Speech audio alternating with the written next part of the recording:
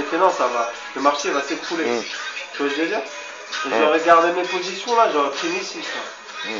Tu vois le truc Mm.